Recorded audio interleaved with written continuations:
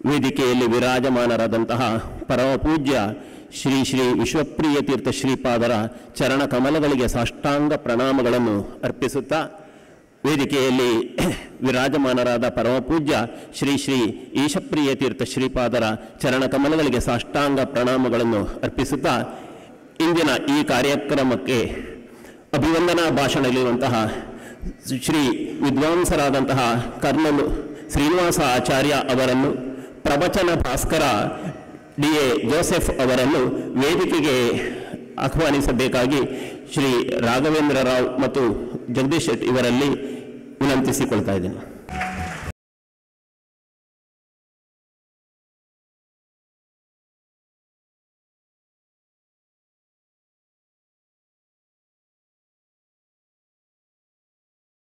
ಮಧ್ವಾಚಾರ್ಯರ ಸಾಕ್ಷಾ ಶಿಷ್ಯರಾದ ಶ್ರೀ ನರಹರಿ ತೀರ್ಥ ಶ್ರೀಪಾದರ ಶುಭ ಪರಂಪರೆಯಲ್ಲಿ ಶ್ರೀ ಶ್ರೀ ವಿಭುದೇಶ ತೀರ್ಥ ಶ್ರೀಪಾದರ ಕರಕಮಲ ಸಂಜಾತ ಅದಮಾರು ಮಠದ ಮೂವತ್ತೆರಡನೇ ಯತಿಶ್ರೇಷ್ಠರಾಗಿ ವೇದಾಂತ ವಿಜ್ಞಾನ ಸುನಿಶ್ಚಿತಾರ್ಥ ಸನ್ಯಾಸ ಯೋಗಾದ್ಯತೆಯ ಶುದ್ಧ ಸತ್ವಾಹ ಎಂಬ ಉಪನಿಷತ್ ವಚನಕ್ಕೆ ಅನ್ವರ್ಥಕರಾಗಿ ಐವತ್ತು ಸಂವತ್ಸರಗಳ ಸುದೀರ್ಘ ಕಾಲ ಸನ್ಯಾಸಾಶ್ರಮದಲ್ಲಿ ವೇದಾಂತಾದಿ ಸಕಲ ಶಾಸ್ತ್ರ ಪ್ರವಚನ ನಿಷ್ಣಾತರಾಗಿ ಜನರ ಜ್ಞಾನ ತೃಷೆಯನ್ನು ನೀಗಿಸಿರುವವರು, ಶಾಸ್ತ್ರ ಸಂಪನ್ನರು, ಕೃಷ್ಣ ಪ್ರಿಯರು, ವಾಗ್ಮಿಗಳು, ಕೊಡುಗೈ ದಾನಿಗಳು, ತ್ಯಾಗಿಗಳು, ವಿದ್ಯಾರ್ಥಿ ಪ್ರಿಯರೂ ಆಗಿ ವಿಶ್ವಕ್ಕೆ ಪ್ರಿಯರಾಗಿರುವವರು ಪರಮಪೂಜ್ಯ ಶ್ರೀ ಶ್ರೀ ವಿಶ್ವಪ್ರಿಯ ತೀರ್ಥ ಶ್ರೀಪಾದರು ಗುರುಗಳ ಅನುಗ್ರಹವನ್ನು ಪಡೆಯುವ ಸಲುವಾಗಿ ಪರಮಪೂಜ್ಯ ಶ್ರೀ ಶ್ರೀ ವಿಶ್ವಪ್ರಿಯ ತೀರ್ಥ ಶ್ರೀಪಾದರ ಸನ್ಯಾಸ ದೀಕ್ಷಾ ಸುವರ್ಣ ಮಹೋತ್ಸವದ ಗುರುವಂದನಾ ಕಾರ್ಯಕ್ರಮವನ್ನು ಪರಮಪೂಜ್ಯ ಶ್ರೀ ಶ್ರೀ ಈಶಪ್ರಿಯ ತೀರ್ಥ ಶ್ರೀಪಾದರ ನೇತೃತ್ವದಲ್ಲಿ ಇಂದು ಹಮ್ಮಿಕೊಳ್ಳಲಾಗಿದೆ.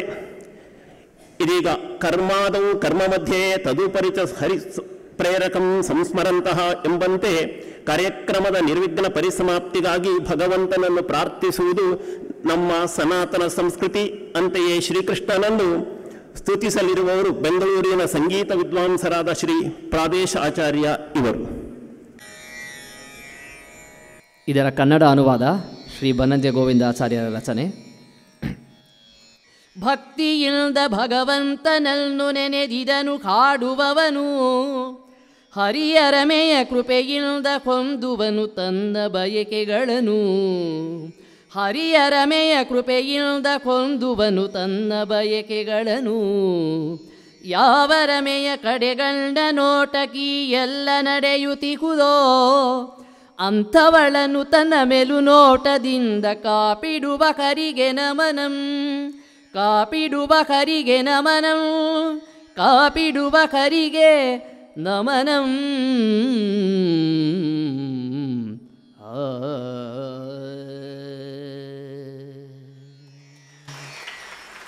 ಶ್ರಾವ್ಯವಾಗಿ ಭಗವಂತನನ್ನು ಸ್ತುತಿಸಿರುವಂತಹ ಶ್ರೀ ಪ್ರಾದೇಶ ಆಚಾರ್ಯವರಿಗೆ ಧನ್ಯವಾದಗಳು. ಇದೀಗ ಕೃಷ್ಣಪ್ರಿಯ, ವಿಶ್ವಪ್ರಿಯ ಎಂಬಂತಹ ಪುಸ್ತಕವನ್ನು ಪರಮಪೂಜ್ಯ ಶ್ರೀ ಶ್ರೀ ವಿಶ್ವಪ್ರಿಯ ತೀರ್ಥ ಶ್ರೀಪಾದರು ಅನಾವರಣೆಗೊಳಿಸಬೇಕಾಗಿ ಪ್ರಾರ್ಥಿಸಿಕೊಳ್ತೇನೆ.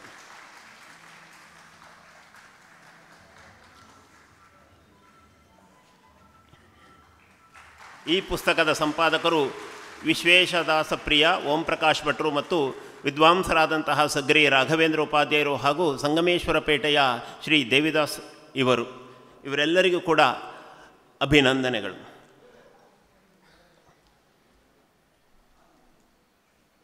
ಹಾಗೆಯೇ ಎರಡು ಸಾವಿರದ ಇಪ್ಪತ್ತು, ಇಪ್ಪತ್ತೆರಡು ಶ್ರೀ ಅದಮಾರು ಪರ್ಯಾಯದ ಸ್ಮರಣ ಸಂಚಿಕೆ ವಿಶ್ವಪ್ರಿಯ ಮತ್ತು ಈಶಪ್ರಿಯ ಎಂಬ ಪುಸ್ತಕವನ್ನು ಕೂಡ ಅನಾವರಣಗೊಳಿಸಬೇಕು ಎಂಬುದಾಗಿ ಪರಮಪೂಜ್ಯ ಶ್ರೀ ಶ್ರೀ ವಿಶ್ವಪ್ರಿಯ ತೀರ್ಥ ಶ್ರೀಪಾದರಲ್ಲಿ ಹಾಗೂ ಪರಮಪೂಜ್ಯ ಶ್ರೀ ಶ್ರೀ ಈಶಪ್ರಿಯ ತೀರ್ಥ ಶ್ರೀಪಾದರಲ್ಲಿ ಸಭಕ್ತಿಕ ಸಾಷ್ಟಾಂಗ ಪ್ರಣಾಮಗಳೊಂದಿಗೆ ಪ್ರಾರ್ಥಿಸ್ತಾ ಇದ್ದೇನೆ.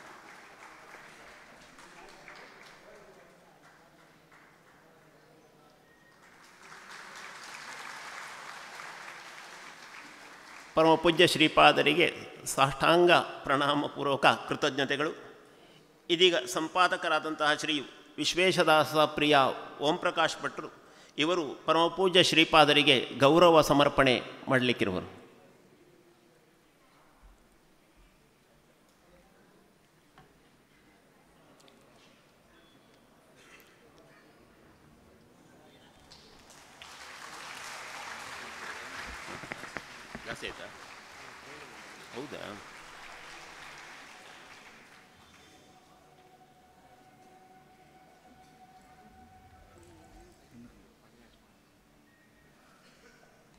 ಪರ್ಯಾಯ ಪರಮಪೂಜ್ಯ ಶ್ರೀ ಶ್ರೀ ಈಶಪ್ರಿಯ ತೀರ್ಥ ಶ್ರೀಪಾದರಿಗೆ ಗೌರವ ಸಮರ್ಪಣೆ ಮಾಡಲಿಕ್ಕಿರುವವರು ಓಂ ಪ್ರಕಾಶ್ ಭಟ್ರು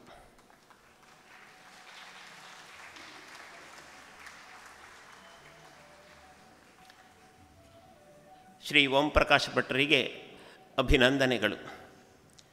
ಇದೀಗ ನಿನ್ನೆ ಅತ್ಯುತ್ತಮವಾಗಿ ಉಪನ್ಯಾಸವನ್ನು ನೀಡಿ ಎಲ್ಲರ ಮನಸ್ಸಿಗೆ ಮುದವನ್ನು ನೀಡಿರತಕ್ಕಂಥವರು ಪ್ರವಚನ ಭಾಸ್ಕರ, ಡಿ. ಎ. ಜೋಸೆಫ್ ಅವರು. ಇದೀಗ ಅವರು ತಮ್ಮ ಅನಿಸಿಕೆಗಳನ್ನು, ಅಭಿಪ್ರಾಯಗಳನ್ನು ಒಂದೆರಡು ನುಡಿಗಳ ಮೂಲಕ ಅಭಿವ್ಯಕ್ತಪಡಿಸಲಿಕ್ಕಿದ್ದಾರೆ. I request professor Pravachana Bhaskara, D. A. Joseph, a scholar of repute to speak few words Shri Venkatesha ಚರಣೌ ಶರಣಂ ಪ್ರಪದ್ಯೆ. ಅಸ್ಮದ್ ಗುರುಭ್ಯೋ ನಮಃ. ಅಸ್ಮದ್ ಪರಮಗುರುಭ್ಯೋ ನಮಃ ಅಸ್ಮದ್ ಸರ್ವಗುರುಭ್ಯೋ ನಮಃ ಮೈ humble ಒಬೇಸಿಯನ್ಸ್ to the senior Swamiji and the junior Swamiji at the outset. My respect to the Vedavidwan Swamiji, who is also seated on the stage. I thank humbly the people who spoke on behalf of me, praising me. Swamiji ordered me today to speak out one or two experiences of my spiritual journey in the early days of my life. There are too many to narrate now, but when I recollect my past days, when I was a student of 10th standard in St. Mary's High School, Madurai, my Tamil teacher was one Sri R. Veeraraghava Iyengar. He came to be accepted by me as my master in my later days. While I was uh, left alone with him one day, I tempted, I was tempted to ask him a few mischievous questions. First of all, I asked him, Sir, why is it you have a tuft on your head? We have a beautiful crop. Why don't you have it? Why do you look so ugly? He smiled at me, and the temperamental compatibility he showed then drew me towards him. The speciality about him is he will never get angry, even if you ask very perplexing questions. He stared into my eyes. There was a small smile in, over his lips. I could not understand then what he was having in his mind while looking at me, but later he told me, The other day I was looking at you, staring at you with a smile. I was talking to myself, I have been looking for a man like this fellow for a very long time. He liked my mischievous question. He started explaining things one by one. After he finished his explanation about the tuft he had upon his head, I, uh, I shot up another question. Sir, you say that a man is born again and again. Previous karma, future karma, prarabdha karma, sanchita karma, all these things you are speaking of. I have a question. When a man steals somebody else's property, the policeman arrests him, dra- drags him to the police station, gives him a nice beating, and frightens him with a warning not to steal anymore. Because of the beating he received, he takes a resolution not to steal anymore. This I understand basically, I, anybody can understand. Now you say in Hinduism, I am punished by God for a certain sin which I did in the previous birth. I do not know what it is. I do not know what sin I committed in the previous birth. But God is there to punish me severely. I keep suffering by some disease or by some debts or uh, by some worries or some calamities. This is a stupid system of punishment. When the policeman beats a culprit, the culprit understands why he is beaten. So he takes a resolution not to steal anymore. So that is a useful way of punishing a man. Without telling a man what he did as a crime in the previous birth, what is the point in punishing him? What will he understand? You say that I must correct myself. When I do not know what for I am punished, how can I correct myself? There your karma theory is wrong, I said. And uh, you know the answer he gave me? He said, My dear son, there is a difference between the policeman punishing and God punishing you. The policeman's duty is to keep the society peacefully, free of crimes. So he tells him, This is the crime you committed, I beat you for this, don't repeat it. There ends the matter. But God punishing you is not for the crime you did. Then he stopped for some seconds. Then what else for? He takes a fancy for punishing me. Why should he punish me? He said, the punishment is not for the crime you committed, but the basic triguna samskara which you have in your soul, which induces you to commit sins. By punishments, a soul gets purified. That triguna dosha is reduced gradually. When birth after birth he is punished like that, at one stage, all the dirt is washed off, he becomes a clean soul. So, to punish a man, God need not tell him what for he is being punished. It is not at all necessary. I said, uh, I understand 50% of this. The remaining 50% is still a suspense. Then he said, You are moving with young men and uh, old men. What is the difference you find between a young man and an old man? As a young man is active, very jubilant, very anxious in uh, pouring out words. But an old man is always very patient. He acts very patiently.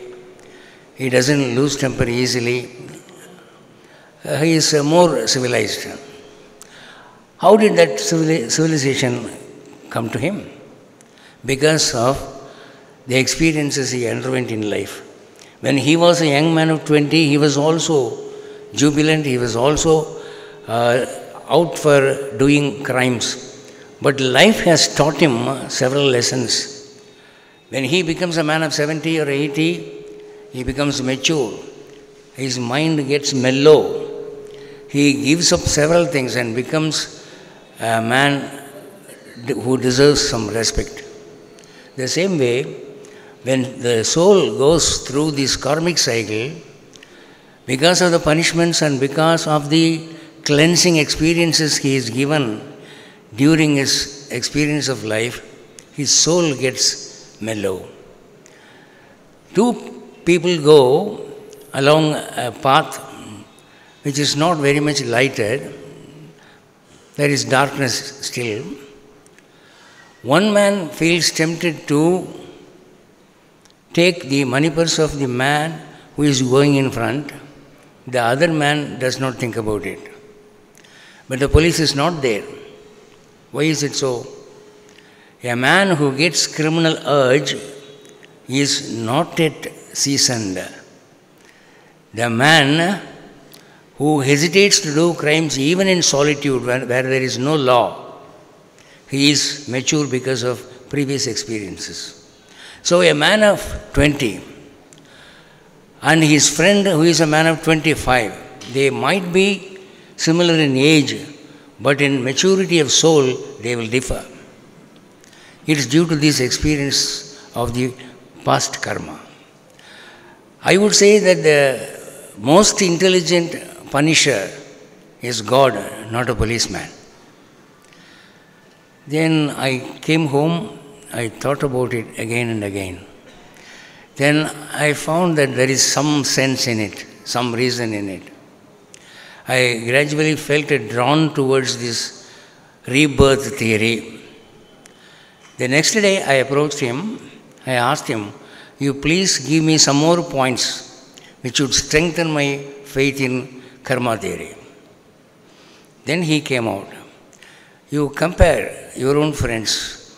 One boy is intelligent, one boy is dull headed, one, man, one boy is rich, one boy is poor, one man is handsome, one man is not. Why this much of difference you find in creation? If the Creator is a kind father, if he is a parent of neutrality, he should not allow this much of disparity in the created beings.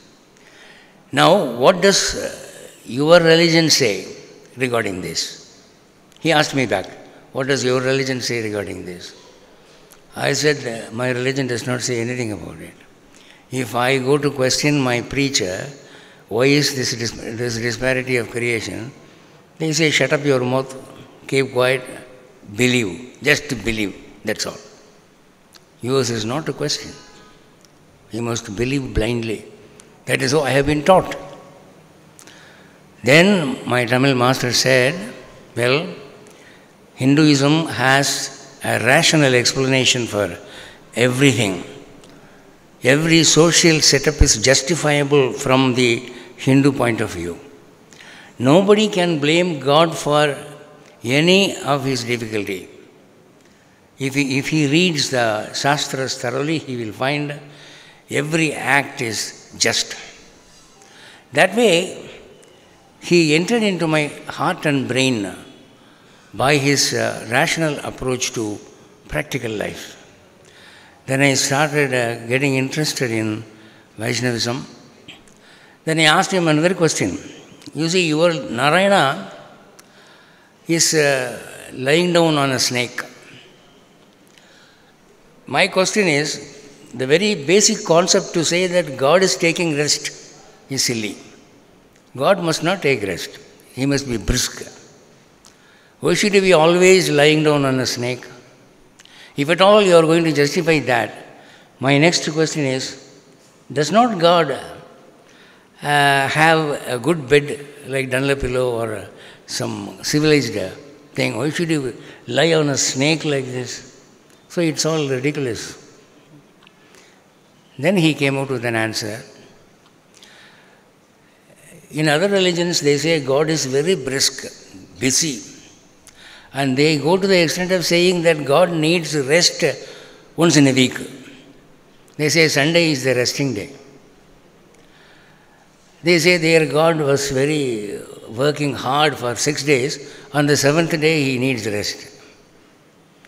Whereas uh, in Hinduism, we say that God does not need rest. He does everything with uh, no difficulty. Lord Krishna says in Bhagavad Gita, Arjuna, look at my Viswarupa. All this effulgence I hold with just one finger. There is so much of unused energy in me. It's all lying lazy. Because God need not exert any effort to, to do anything, to create or to maintain or to destroy. All those things He can do with just a thinking of a second.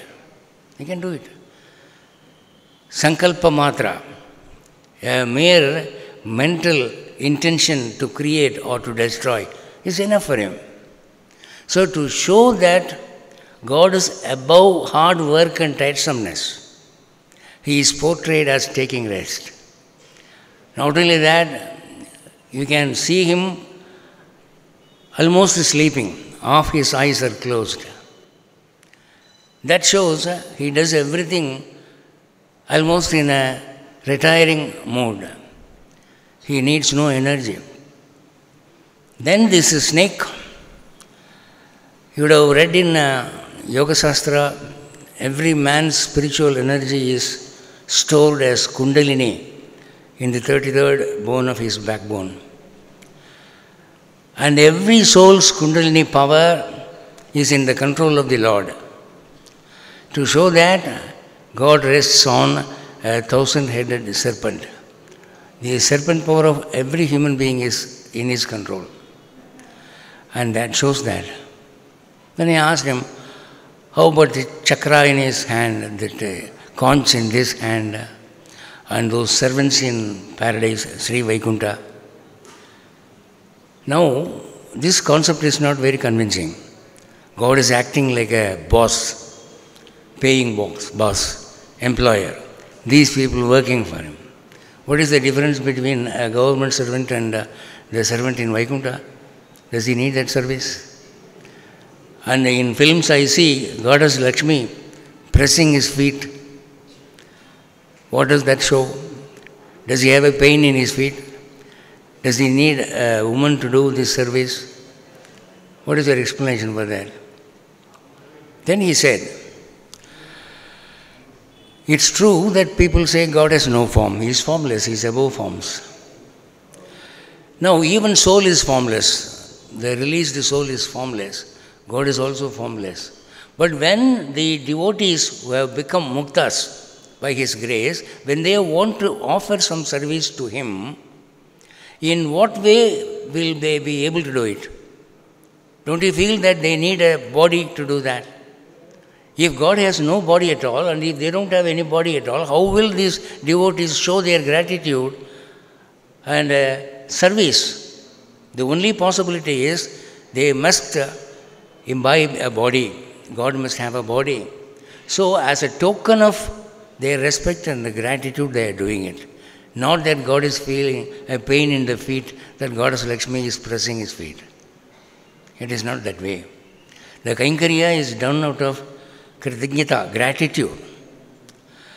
Thus, he gradually drew my attention to Vaishnavism and I started reading uh, Sanskrit books by his instructions. And within one year or two, I realized that uh, he is the master meant for me. And I accepted him as my Jnanastriya, as a guru. He taught me for uh, several years, say almost three decades. He taught me Sanskrit, all the Hindu Shastras, Shad Darshanas, Jainism, Buddhism, Tamil literature, everything. And he was a man of extraordinary IQ, memory power, and original logical capacities. I miss him very much now. And yesterday, one friend came to me and uh, he appreciated me that uh, uh, you were able to answer any question instantly, extemporally. How is that? I said, You are wrong. Your observation is wrong. Whatever answer I give is that I picked up from my master. Nothing is original. I learned everything from him down the ages. So it's all in here. I have become a living computer. I have registered everything here. So you shoot any question, that reserved answer will come. Because I have been questioning him like this for 30 years. I have been pestering him with questions. And the only thing, one thing, very interesting thing is that uh, appealed to him very much. He said, I like, what I like in you is your questioning quality. You keep on questioning me. I like you because of that only. You are a different man. I find my student in you. So he taught me Hinduism, and uh, when I felt that I am almost qualified to answer any question in Hinduism, God uh, took him away from me. Now he is in Sri Vaikunta. But I feel quite competent to face any situation, practical or spiritual. When I open any book to read, uh, somehow I feel that I have read the book already. I know what is going to be in the next page. It was all the greatness of my master. He made me qualified. So, our uh, secretary said, just talk for uh, 10 minutes. Swamiji said, you can go ahead for 20 minutes. Now, 20 minutes are gone. I think before a chit comes to me, please stop. Huh? I think I will stop now. And um, thanking you for your patient audience our Swamijis, and all the people who have been helping me for the last two days. I take leave. Uh, I think they want me to uh, speak tomorrow also in some college or school. Uh, hoping that God will make another opportunity to meet mutually. I take leave. Jai Sriman Narayan. I thank Pravachana Bhaskara D.A. Joseph sir for expressing his experience as follower of Sanatana Hindu Dharma. ಪ್ರವಚನ Bhaskara Shri D A Joseph sir ಅವರು ಶ್ರೀಪಾದರಿಂದ ಅನುಗ್ರಹ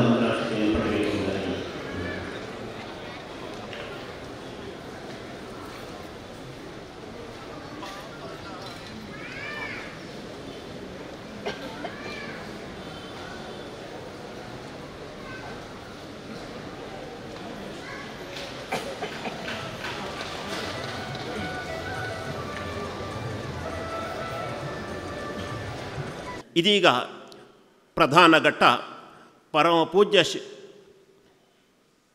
ಶ್ರೀಪಾದರಿಗೆ ಅಭಿವಂದನ, ಗುರುವಂದನ ಕಾರ್ಯಕ್ರಮ.